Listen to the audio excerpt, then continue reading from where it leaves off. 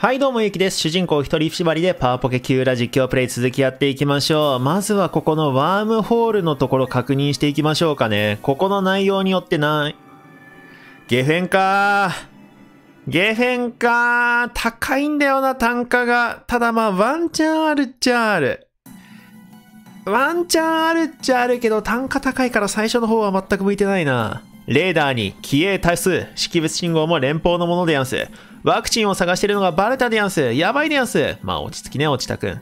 これはゲフェンの監視用モニター管が映ってるんだよ。監視用モニター管こんなにたくさんでやんすか？うん。ゲフェンといえば連邦最大の犯罪者収容惑星。警備も厳重なんだ。そんな星に近づいて大丈夫なんでやんすか宇宙港で貿易するだけなら大丈夫なはずだよ。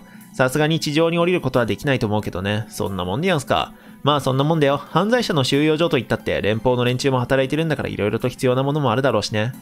さあ、宇宙港に入るぞ。一応見学だけしていこうかな。あ、キャンディーは売っておいて、で、ここの、まあ、あの、物資というか、特産品は高級家具なんで、これは買っておきます。1500かかるから高いんですよね。どうだったでやんす？うん。やっぱりダメみたいだな。地上に降りることができるのは連邦の役人か警備の兵士だけらしい。そうでやんすか？ここはおとなしく家具でも買って帰った方がいいでやんすかね？それがいいかもね。ゲフェンの家具といえば高級家具だし、仕入れて他の星に持っていけばきっと高く売れるでやんす。連邦の兵士がうろうろしてるような宇宙港でワクチン探しなんてできそうもないし、さっさと貿易品を積み込んで別の星に行こう。ここはね、うろついてると、あの、なんか賞金稼ぎみたいなの登録できたりとかするんですけど、まあ、金もかかるし、また来る、来ないだろうからいいや、ここはスルーしましょう。連邦首都デスパレス。おお、我が息子五郎よ。野五郎くん、今日はお前のためにプレゼントを持ってきたぞ。わー、わーい。ああれなんだ、また野球人形のパーツか。不問かいいか、野球人形は数百年の歴史のある高貴な遊びなのだぞ。勝利するためには資金だけではなく反射神経とプログラミング、デザインセンス、そして勝負の度胸が必要だ。つまり宇宙最高の権力者たるわしでも必ず勝てるわけではないのだ。えー、僕はお金を持ってる方が必ず勝てるゲームの方がいいな。今のソシャゲみたいだね。ゴロ、絶対に勝てるゲームというのはもはやゲームではないぞ。そんなもの楽しくないじゃないか。ほんとこれ、今ソシャゲやって重課金で勝って喜んでる連中に言ったれ。言ったれこれ。もう駆け引きがあって勝つか負けるか分かんねえからゲームは面白いんだ。僕は絶対勝てるゲームの方がいい。やれやれ。難しい年頃でやんすね。教育方針を間違えたかな。全くわがままで困る。いや、必要なのは愛でやんす。なんだとわしがあの子を愛していないとでも、まあ、愛していなくても無理はねえな。無理はねえな。いえ、大統領閣下はお忙しい。五郎様は寂しいのでやんす。せめて友達でもいればいいのだが、その前に母親でやんす。何？閣下はオーブールの姫君にご就寝の様子。この際、手に入れられてはいかがですか？いやそれは、うんうん。おい、何か当てがあるのか？少々。よかろう、お前に任せる。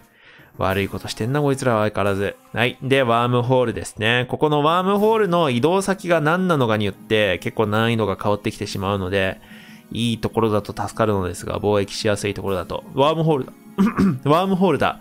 宇宙の空間がねじれて別の場所と繋がっちゃってるんでやんすよね。いくつか発見されてるんだが、安全性がチェックされて航路として利用されてるのはこの場所だけだ。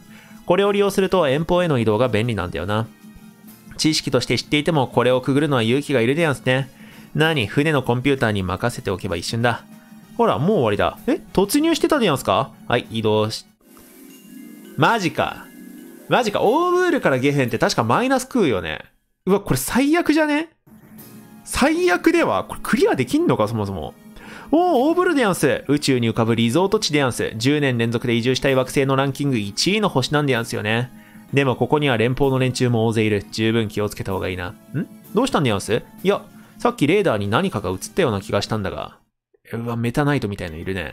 ようこそオーブルへ。短期滞在のお客様ですね。いっそ永住したいでやんすけどね。残念ながらこの惑星は人口調整のため移住の審査は厳しくなっております。そもそも異星からの移住の方はこの星の数少ない陸地、点在する島にしか住めません。それらの島も今はペラヘブンや連邦の方々でいっぱいでして。じゃあこの星の本来の住民はどこに住んでるんです？私どもは水中でも呼吸できる水星人なので、海中に家を建てられますから問題ありません。なんかあの、ワンピースでいう魚人島みたいな感じですね。確か、もともとこの惑星に住んでいたんじゃなくて、バイオテクノロジーの成果だったな。この星に適応して進化したのですよ。その点でサイボーグと同じように考えていただいては困ります。あの、サイボーグもいます、キューラ。そういえばこの星って、あ、お待ちください。かわいい。皆さん、おはようございます。本日もオーブールの繁栄のため一生懸命頑張りましょう。立体映像でやんすか？そこら中で放映送されてるぞ。うわー、女王様万歳オーブールに栄えあれ今のが鈴音姫か。国家元首が毎朝励ましてくれる惑星というのも珍しいな。まあでも日本でこれやられてもね、総理大臣に毎朝励まされて嬉しいかっつったら全然嬉しくねえからいらねえな。大村長官が励ましてくれてもおいら嬉しくないでやんす。そう、それと全く気持ち一緒。そういうことよ。さすがですね。分かってますね。じゃあ、高級家具は一応売っといて、姫水は買っておきます。ちょっとうろついてみましょうか、せっかくなんで。オーブールの美しい自然を守りましょう。オーブールの特産品、姫水をお土産に。まあ、姫様の水だったら美味しいけどね。いくらなんでもこの星はお姫様の立体映像を使いすぎじゃないのかな。いくら可愛いからって、これじゃさすがに触傷気味でやんす。まあ惑星のアイドルなんだから仕方がないんじゃないのかな。まあでも国家元首がアイドル化してるっていうのは結構ね、なんかみんな結束しやすくていいですね。いやいや、姫様は単なるアイドルなんかじゃないんですよ。というと、鈴音姫は王家の、これなんて読むの？これ。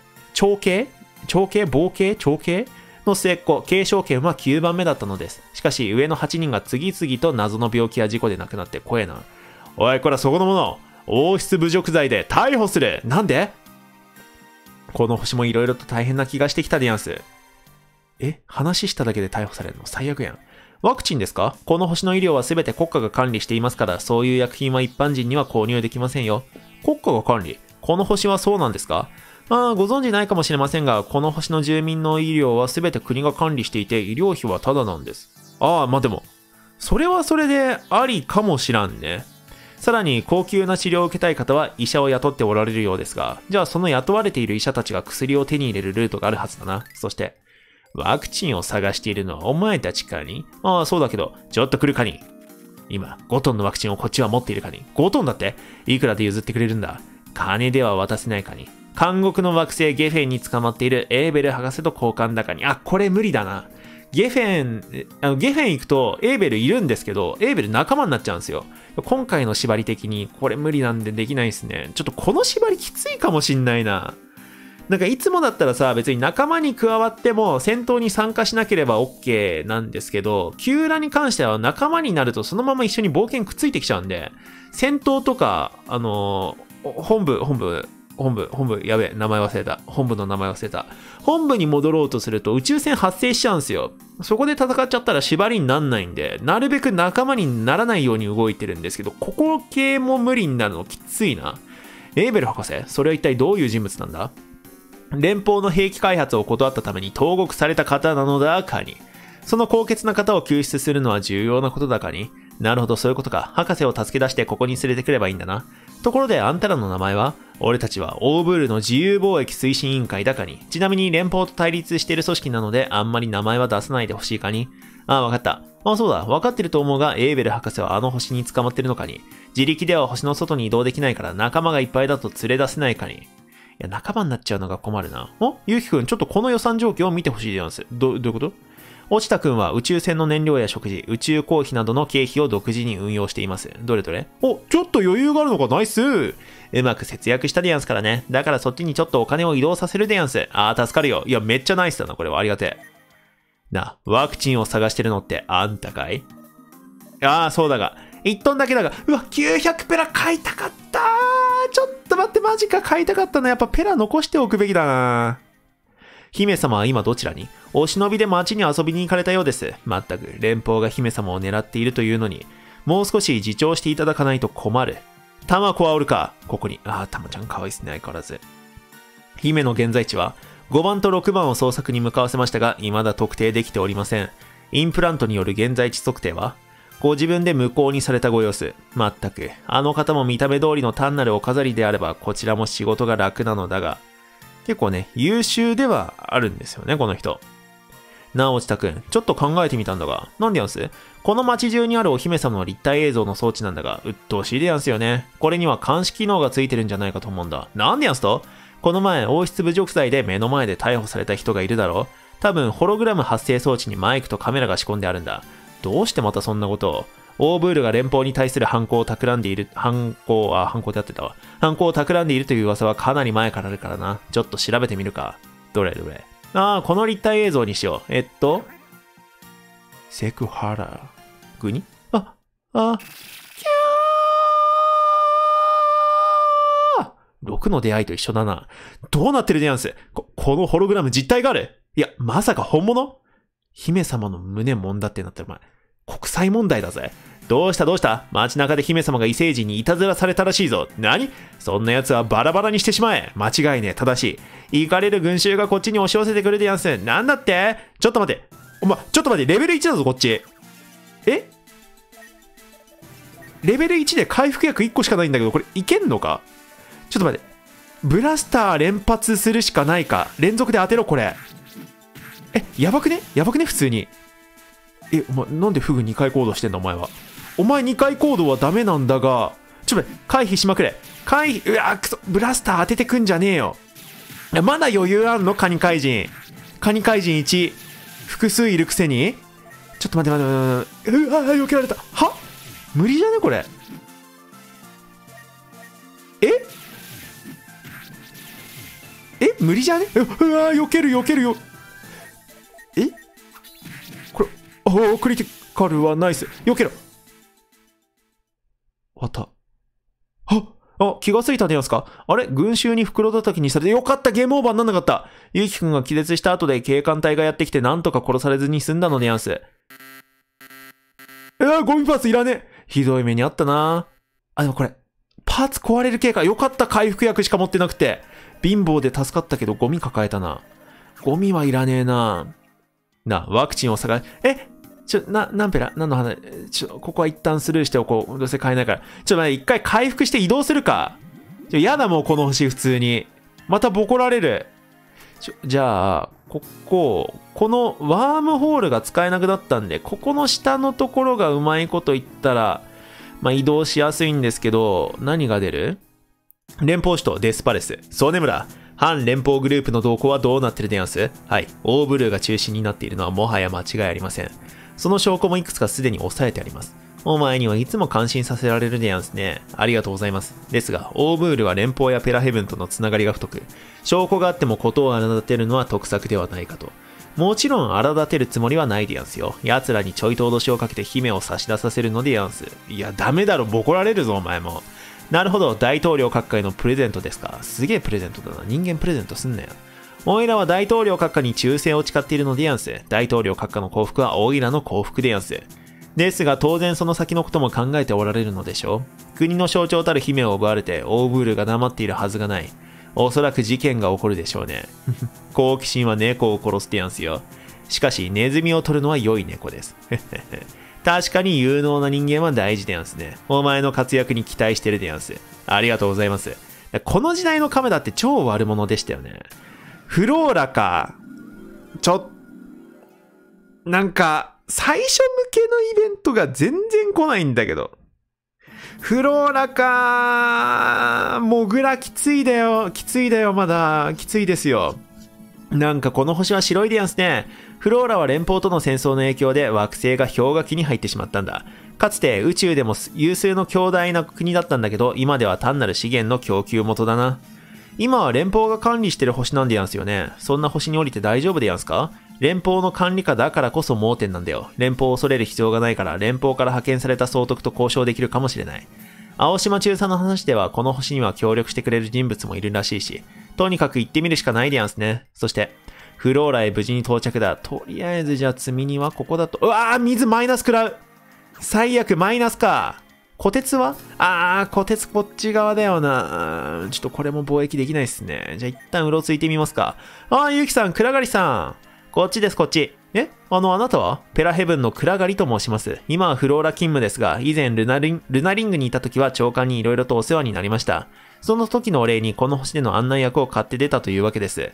こういう義理がたいペラヘブン人もいるんでやんすね。ええ、料金は格安で。ただじゃないんでやんすか？ただですって。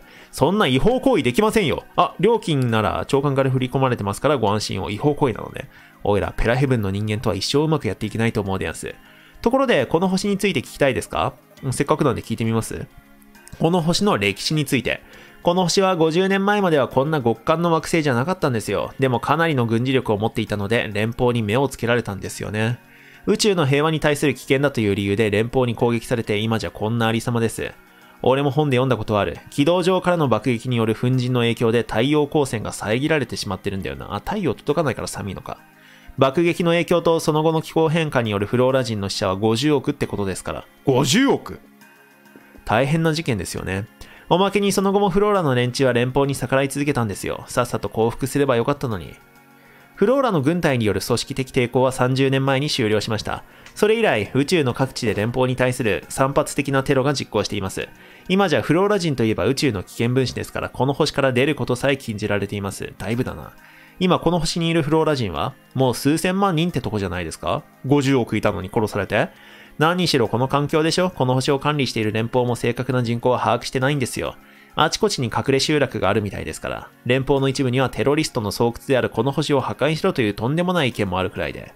もちろん暗がりさんは反対ですよね。当たり前です。この星にはまだ豊かな地下資源が残ってるんですよ。そんな星を破壊するなんて連邦は経済というものを理解していない。やっぱ金なんだな。いや、あの、フローラの人たちのことはええ、安価な労働力なので、ここでの資源発掘に役立ってます。保険もいりませんしね、保険かけてやれ。じゃこの星の危険は？そりゃゲリラですよ。未だに連邦に逆らう連中があちこちにいて私たちにテロ行為をしてくるんです。あの、こうは考えられませんか？あなた方がフローラの資源を奪っていくのに抵抗していると。そんなこと言われても困りますね。だって今やこの星は連邦のものなんですし、私たちはお金を払って採掘作業をしてるだけなんですから。どうせ攻撃をするんなら私たちじゃなく連邦の軍隊にやってくれないと。いや、どっちも見たら一緒やろ、相手からしたら。あとは合成獣ですね。フローラの地上制圧に手を焼いた連邦がゲリラ狩りのために大量の人工生物をばらまいたんで。治安悪いな、この世界、本当に。そのうちいくつかがこの星に適応して増えちゃったみたいで。代表的なのは雪モグラです。うんと、すると何ですか？この星は環境を破壊された上に怪物まで放たれたと。ええ。まあ、そういうことですかね。めっちゃかわいそうじゃん。この星の特産物は、コスモカーボンですね。大量に発掘されるのに輸送する船が足りなくて、宇宙港で安価に入手できますよ。工業材料ですから、ペラヘブンとか工業の発展してる星で高く売れます。虎鉄とか出たらいいな、でも。大量に発掘させるは、されるええ、この星はもともと緑の豊かな星だったんですよ。だから雪の下を掘ればいくらでも資源が出てくるんです。なるほど。もう十分わかりました。かわいそうっていうことが。それで、ワクチンの情報は本来ルナリングに輸送されるはずだったワクチンがこの星の宇宙港で差し押さえられてましてね、少なくとも10トンはあるようです。でもこの星は需要がなくて連邦も処理に困ってるみたいですよ。それなら連邦相手でもなんとかなるかもしれないな。明日連邦の総督と交渉するとして今日はゆっくりお休みください。はい、ありがとうございます。じゃあ今回ここまでにしておきましょうかね。結構条件があまりにも悪いですが、ここが虎鉄とかだったらまあワンチャンこことこことの貿易でなんとか金稼ぎたいなって思うんですけど、何が来るやらっていう感じですね。結構状況はまずい。クリアできるかすら、この配置だと怪しい。でも頑張っていきたいと思いますので、ぜひ皆さん次回もご視聴ください。じゃあ良ければチャンネル登録、高評価もお願いします。バイバイ。